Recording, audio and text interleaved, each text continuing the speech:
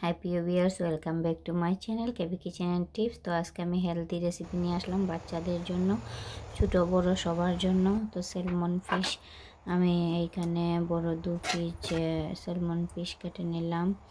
নিয়ে আমি একটু হলদি মরিচ দিয়ে মেখে নিয়ে এগুলো একটু ভেজে নিব হ্যাঁ? তো এখানে আমি চার টেবিল স্পুন তেল দিয়ে দিলাম। এখানে মাছগুলো ভাজার পর আমি আলু আর কাঁচকলাগুলো ভেজে নিব। আলু কাঁচকলা দিয়ে আমি এটা রান্না করছি। অনেক আমি আর অনেক হেলদি। মাছটা অনেক হেলদি। এটাতে প্রচুর প্রোটিন আছে। প্রচুর পরিমাণে। এটা শরীরের জন্য অনেক ভালো। তো বড়রা বলুন আর ছোটোটা বলুন, সবার জন্যই এটা অনেক ভালো। স্পেশালি বাচ্চাদের জন্য খুবই খুবই ভালো। তো এখানে আমি কাঁচকলা আর আলুটা এখন বেজে নিব, মাছটা বেজে নিলাম। একটুখানি লবণ দিয়ে আমি এখানে বেজে নিব হ্যাঁ?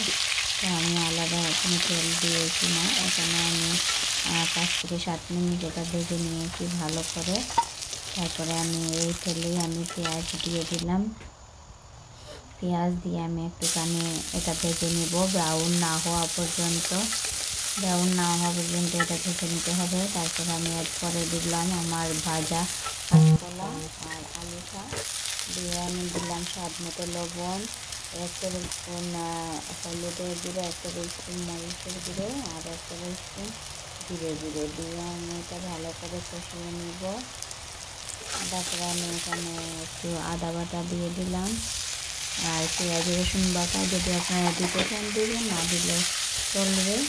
তো আমি এখানে জল দিয়ে দিলাম। ভালো করে কষিয়ে নেওয়ার পর আমি দু তিন মিনিট কষিয়ে নিয়েছি। নিয়ে আমি এখানে জল দিয়ে দিয়েছি। দিয়ে আমি এটা কুক করে নেব।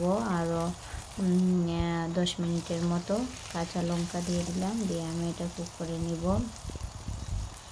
এরই পাশে আমি চিকেন সিক্সটি ফাইভগুলো ভেজে নিচ্ছি। আপনারা যদি চিকেন সিক্সটি ফাইভের রেসিপিটা চান, তো আমি ডেসক্রিপশন বক্সে দিয়ে দিব।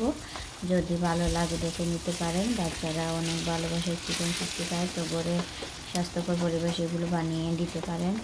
তো আমি দেখব আমার কারিটা কেমন হয়েছে প্রায় হয়ে যাচ্ছে। এটা আমি বেশি ঘন করে রান্না করিনি, একটু পাতলা পাতলাই রান্না করব। যেহেতু কম তেল মশলা দিয়ে এটা স্বাস্থ্যকর রেসিপি আপনাদের ভালো লাগলে আপনারা ট্রাই করে দেখতে পারেন। আর আপনারা বেশি তেল মশলা খেলে দিয়ে দিতে পারেন তো আজকে এখানে বাবায় সাবস্ক্রাইব করতে ভুলবেন না প্লিজ সবাই হয়ে গেলে হেলদি রেসিপি যারা সাবস্ক্রাইব করেছেন সবাইকে অনেক অনেক ধন্যবাদ। লাইক কমেন্ট শেয়ার করতে ভুলবেন না যারা করেননি প্লিজ সাবস্ক্রাইব করে দিবেন। Bye bye tata.